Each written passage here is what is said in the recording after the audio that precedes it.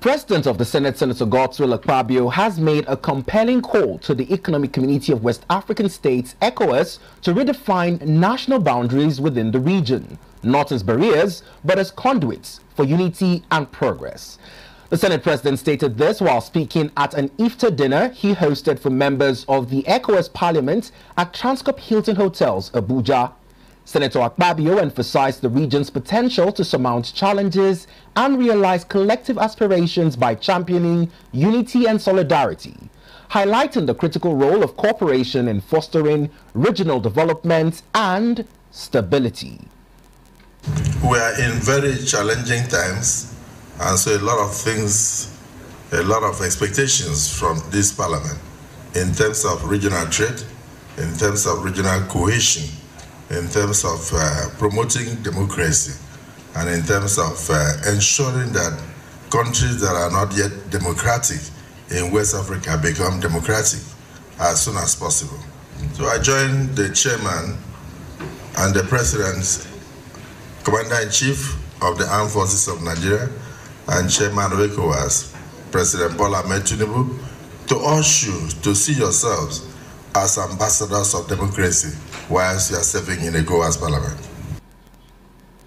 The Senate President stressed the importance of building upon the groundwork laid by their predecessors and charting a course towards a future that is more inclusive, fair and prosperous by aiming to enhance regional integration. I joined the chairman and the president, commander-in-chief of the Armed Forces of Nigeria and chairman of President Bola Tinubu, to urge you to see yourselves as ambassadors of democracy whilst you are serving in a ECOWAS parliament. We must exchange intelligence and exchange ideas on how we can cope the cross-border crimes that we are facing in the region and how we can ensure a more peaceful and prosperous region for all our citizens.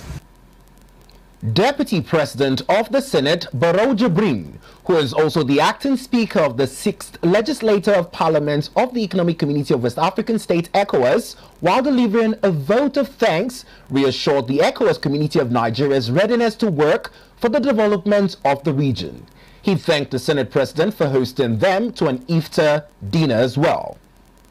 It is the beginning of beginning in terms of uh, display of hospitality by the President of the Senate of the Federal Republic of Nigeria to you that we are all one people,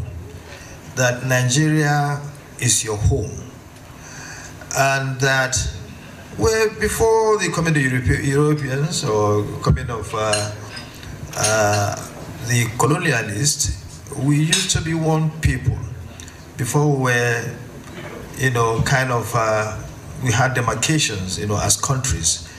So when you are here in Nigeria, we take it that you are at home because you are your brothers, we are your brothers and sisters. The Senate President also mentioned that the iftar event also served as a platform to congratulate the ECOWAS Parliament on the successful completion of the election process.